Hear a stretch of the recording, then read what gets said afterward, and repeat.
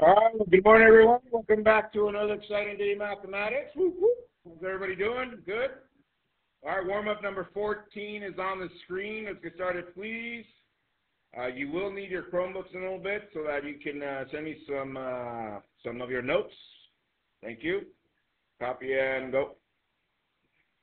All right, let's get the show on the road. Uh, what are the measures of central tendency, Brianna? Mean, median, and mode. That is correct. Uh, and what did you get for all those three? Pass someone.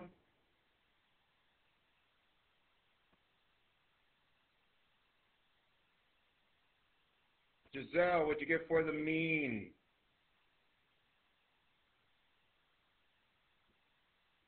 Hands if you got that. Looks about right.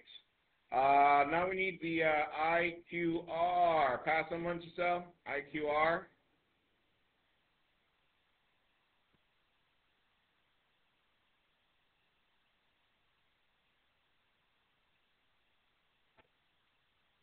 Five. Hands if you got that. That is correct. All right. Now share with your neighbor your equation to see what they got for that uh, best fit line.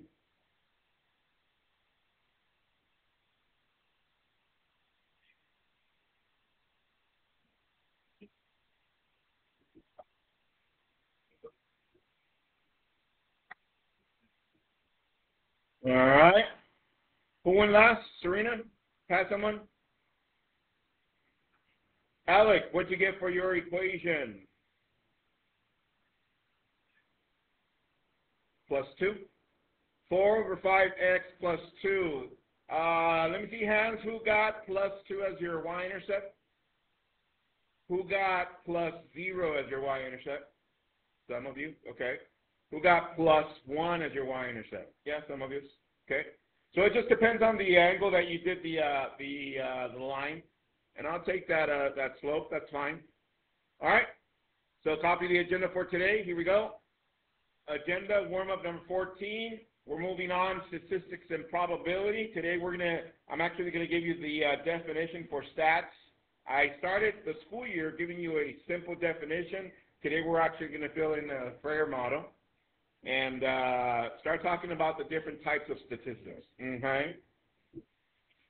All right, and tonight's home play only six problems. Only. Thank you, Mr. Q. You're welcome.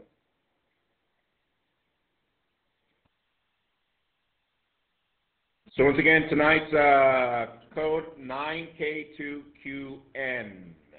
Over the weekend, you had a, a free weekend. Is that okay? Yeah, yeah, that was good. All right. And tonight's home play is only six problems, but if you notice, we're kind of like moving away from numbers, now going into situations. Hopefully, we understand what we're going to be presenting today. Our objective for today, I can differentiate descriptive and inferential statistics. I could, I could differentiate descriptive and inferential statistics. I can differentiate descriptive and inferential statistics. Write that down. You do need a Frayer model. And uh, tell your neighbor what is the main idea for today. Main idea for today. Yeah, statistics. We're going to clarify a lot of those things uh, starting today just to make sure we got all the components. Stay focused, please. Like I said, this is the area that uh, gives uh, some college people problems. and basically because we're talking about concepts and ideas, not necessarily numbers. Okay? Yes, Mr. Q. All right, good. All right, so once again, we're going to be looking at statistics, and two major areas of statistics that we're going to be looking at are descriptive and inferential. Once again, what major areas? Descriptive and inferential. Okay? And we're going to learn how to differentiate one from the other, which one is which. Okay? Here we go. Statistics, write this down. Statistics is the science, let me repeat that again. Statistics is the science of conducting studies to collect, organize, summarize, analyze, and draw conclusions from data. Let me repeat that again. Statistics is what? The science of conducting studies to collect, organize, summarize, analyze, and draw conclusions from data. Now, I've been uh, hammering uh, for you guys to come up with conclusions at the end of each uh, uh time that we present different type of data. Huh, Ethan? Yes? All right, good. And uh, and now we've gotten used to at least looking at it and at least coming into our noodle and thinking, okay, I see this, and you come to a conclusion with the data presented.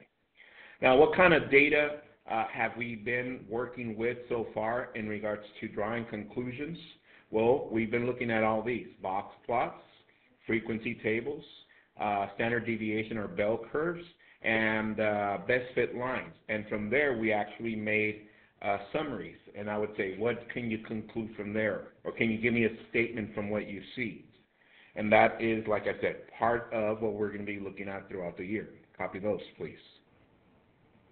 So once again, statistics. What is it? The science of conducting studies to collect, organize, summarize, analyze, and draw conclusions from what?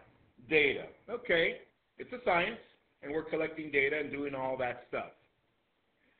Non-example, look up. Look at these.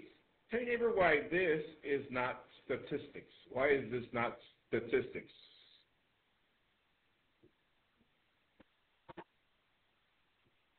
Yeah, these are just functions and their graphs, and these are specific data for situations that we collected data for. Yes.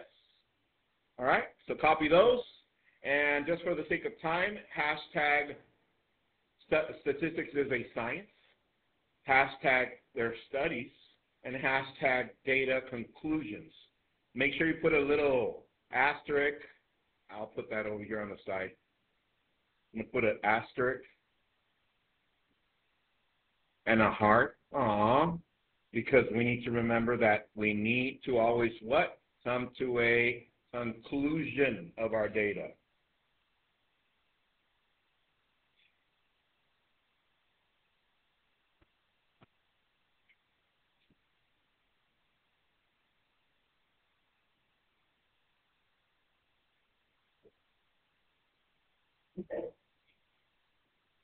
All right. Send me your Frayer model as soon as you're done. I send you the screen. Not that I don't trust that you're not taking notes, but I just want to see what you wrote down. Oh yeah, I got this.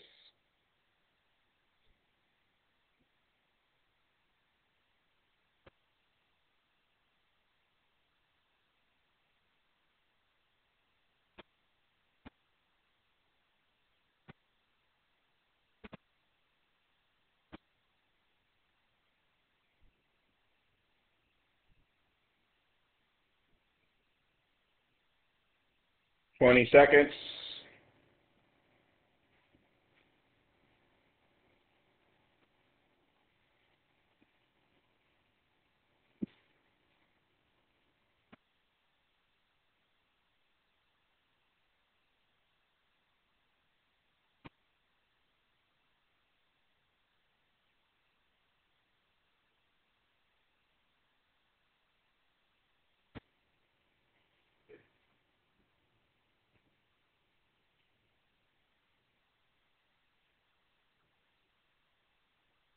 And just FYI, also, uh, I think this is the last week that we're going to have uh, 100 degree weather.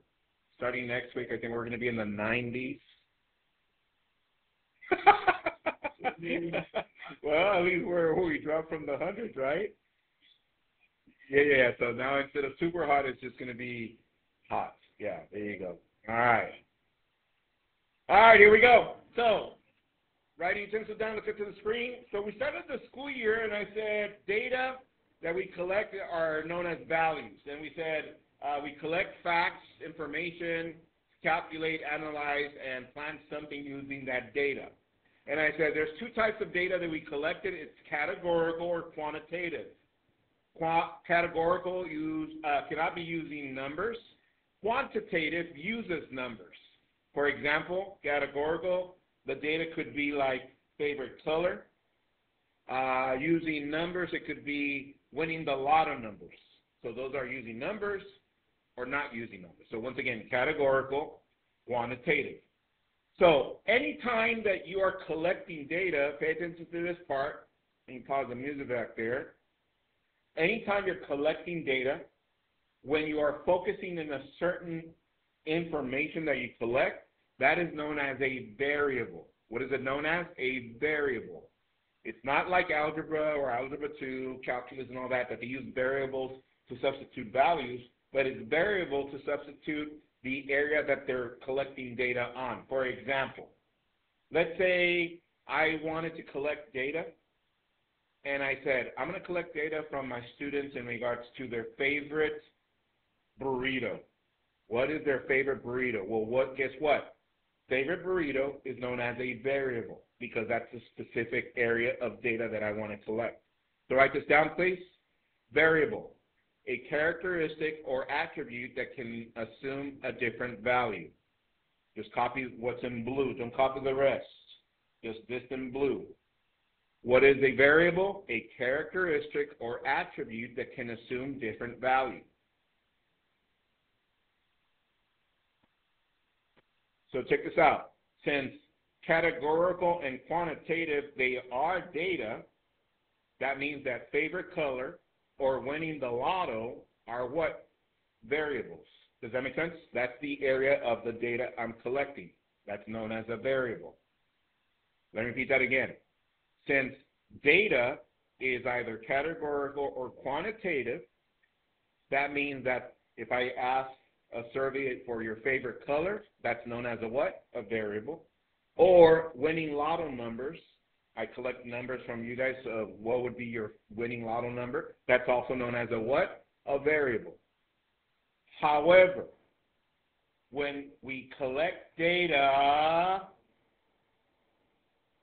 that might change when I'm collecting it, like, for example, um, who's seen, uh, what's that program? Uh, the Price is Right.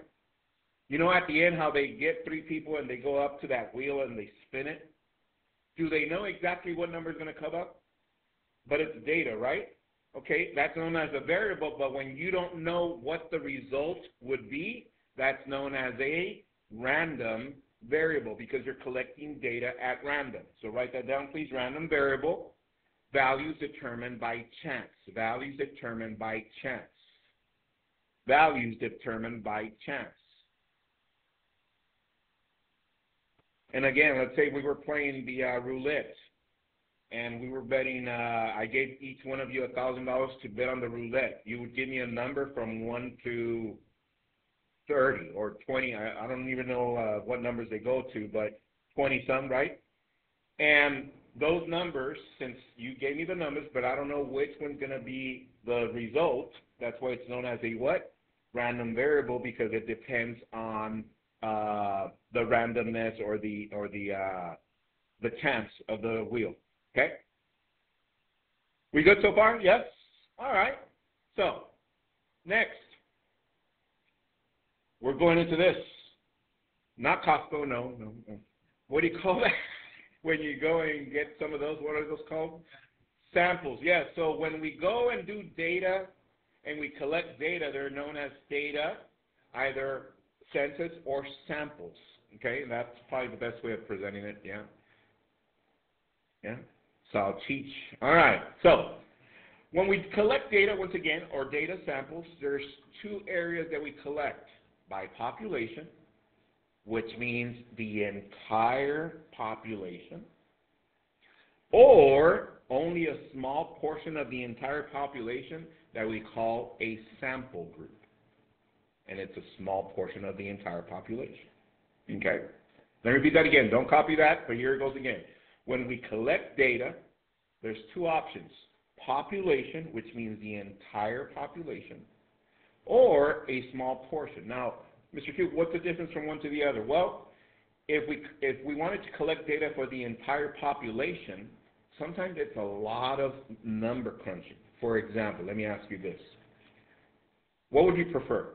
if I asked you, let's collect the ages, no, not the ages, let's collect uh, shoe size, two sides of the entire student population of Imperial High School and do standard deviation.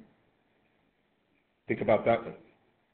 Or we can do a sample, maybe just one classroom, and do standard deviation. What would be the most obvious that you would work with? Sample, because population at times it's a lot of work and a lot of number crunching. So do you understand the difference from one to the other and why it's used? Yes? Tell you neighbor why we prefer sometimes sample instead of population. Why do we prefer sample instead of population?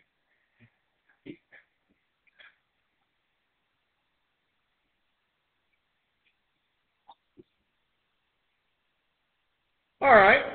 So, with that said, just to make sure that we understand what we're looking at, look up to the screen. Here it goes. I'm going to take a census. There's two situations. Don't write this down. Look up to the screen. Writing utensils down. Hands off the keyboards. First situation.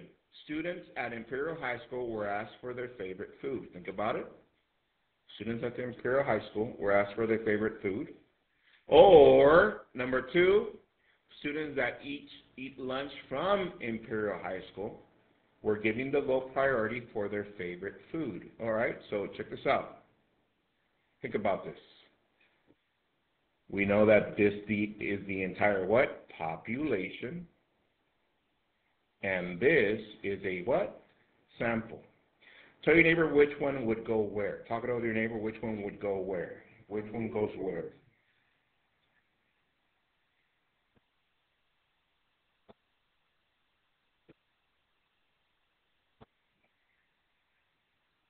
All right. Let's see. Let's go with sample. Which one is the sample? Um, Emilio. Number two, the sample. And what gave it away? What word from in there gave it away? Eat lunch. Okay. Um, and the key word here is from Imperial High School. Because some some of you eat lunch, but sometimes you don't eat lunch from here. Some of you bring like a little snack or something from home. Does that make sense? All right, which means that this one is our what? Population because it's the entire high school. Copy this one, please. Example one. Example one, copy those two situations and write your then. Give some time. Go. Are we good? All right, so understanding population versus sample from one to five. How comfortable are you up to right there so far? We got some four or fives, okay. And now for some of us that still need more clarification, yeah. Okay, you got it? okay. Uh, if for some of us that need more clarification, let me give you the uh, an image that I put together. When it's talking about all the students, here they are. Let's say uh, those are all the students. But I put an L for those that are eating lunch from Imperial, so I moved those over here. So this is the entire population, and this is only the sample. Okay? Let's go with another one. Here we go. Actually, hold on. Before I do that, send me your notes. Let's go. Oh, oh yeah, I got this. Screen's on your screen.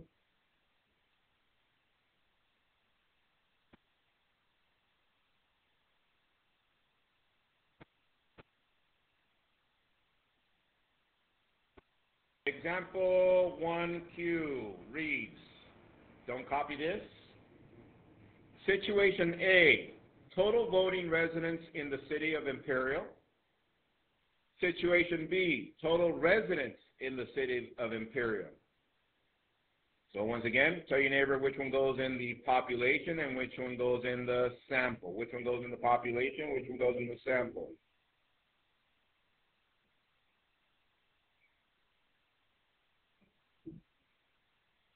All right, fill it in uh, on the screen. Fill it in on the, on the screen, please. On your screen, fill it in on your screen and press N. Which one is which?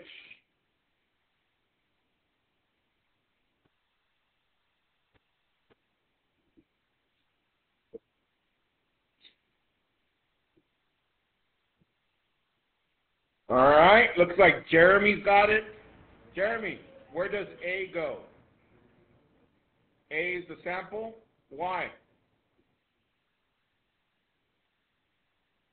Only the voting residents. Does everybody vote? No. Like some of you don't vote, right? Unless you are 18 or older, right? Okay. And of course, the other one is B. All right? From one to five, welcome to where you with us so far? Yeah, we got it. Okay, let's do another one. Here it goes. Example 1, Super Q. All City of Imperial Police personnel who drinks energy drinks. Or B, all City of Imperial Police personnel. Tell them, tell your neighbor which one's the population and which one is the sample. All right, fill it on your screen.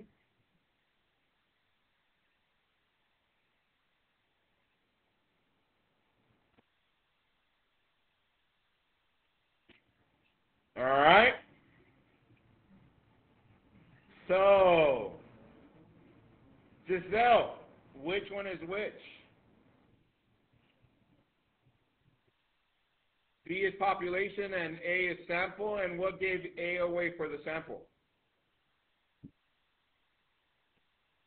Not everyone drinks energy drinks. That is correct. So, there you go. From 1 to 5, I'll come to you with that. Yeah, we got it, yes. Once again, um, population versus sample. Now, just to wrap this section up, tell your neighbor why would we use a sample instead of using population data? Talk it to your neighbor. What would we use a sample with population?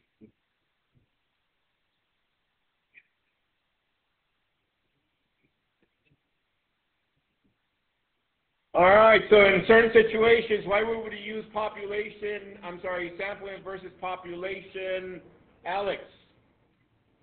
Why would we use sample versus population?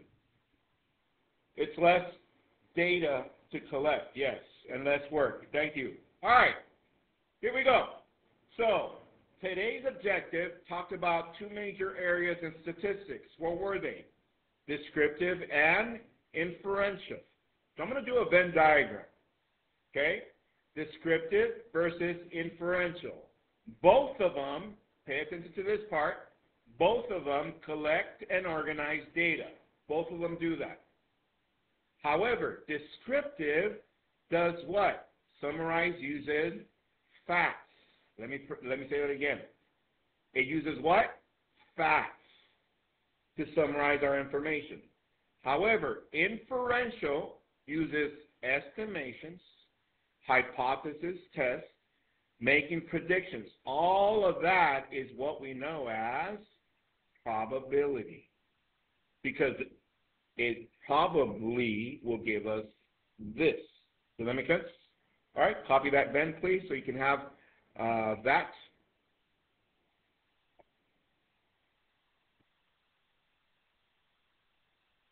So once again, what two major areas did we present today? Descriptive and inferential. And they both do what? Collect and organize data. However, one of them uses facts to summarize. The other one uses estimations or predictions. Okay? All right.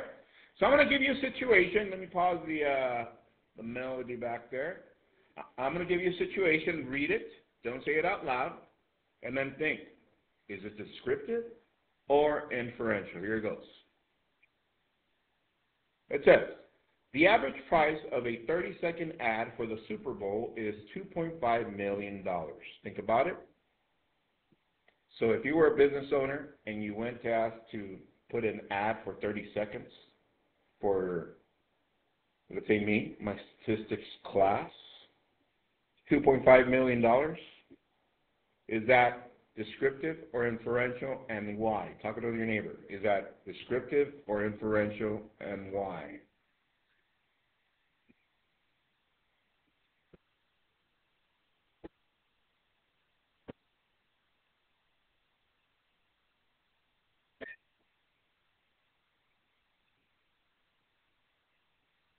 All right. So, um, see. How about um, Natalie? Is that descriptive or inferential? Close. Is there any, any guesses as to how much the price would be?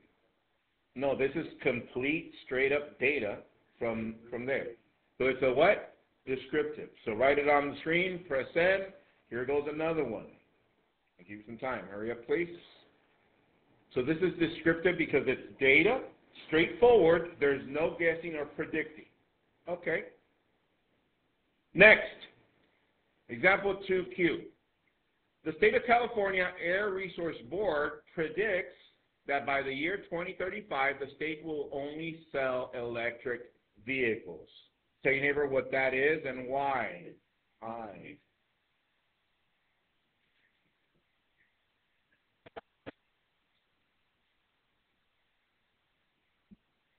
All right. Write it on your screen. Press send. Which one is it? Is it descriptive or inferential? Looks like Emilio's got it. Very good, Emilio. All right. Noel's got it. All right. Uh, Mia, what is it? Descriptive or inferential? Inferential. Why did she say inferential, Elias?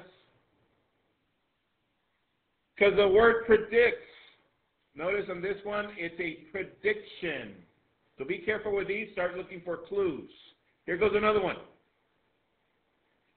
A medical report states that taking statins, it's proven to lower heart attacks, comma, but some people are slight high risk of developing diabetes when taking statins. Okay, hold on, hold on, think about it.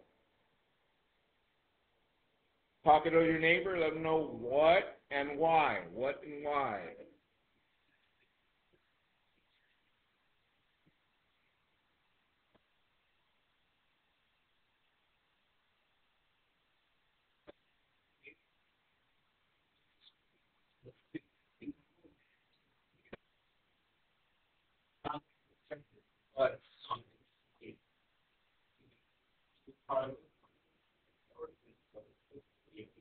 All right.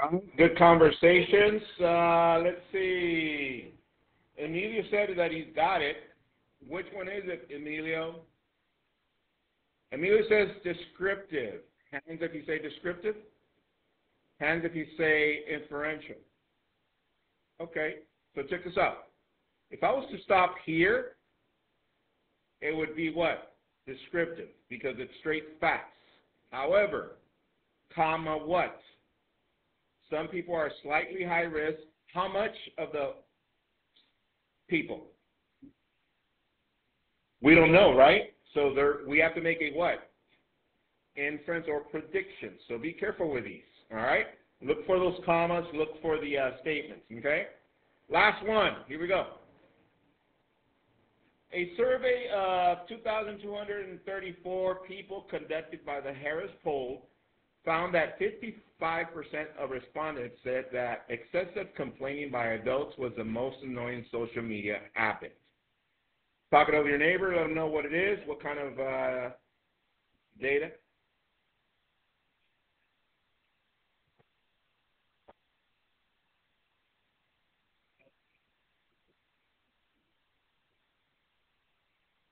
All right. Elias, pick someone.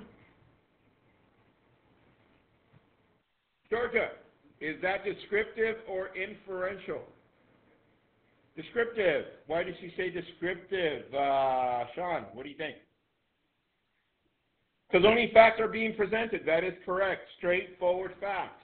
So from 1 to 5, how comfortable are you with the two areas of statistics? Yeah, 5, 5, 5. We got this, yes? All right. So with that said, give me a second. All right, I'm going to speak. Bye. Later, guys. You too.